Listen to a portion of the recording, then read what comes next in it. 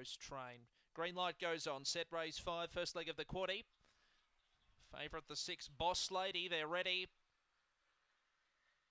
Racing Boss Lady was away midfield. Pace from Monksar Queen who goes forward, driving up Made from Scotch the Rail. Then came Ghost Train from Hazy Range. Next the inside there, Mia Jet passing Epic Black. Well back the faves. Boss Lady Destiny Nanette second last and last around the turn. And getting away here was Made from Scotch. Comes clear to win it well. Made from Scotch by five beat Ghost Train, Monksar Queen, and then came Destiny Nanette late the fence from Mia Jet.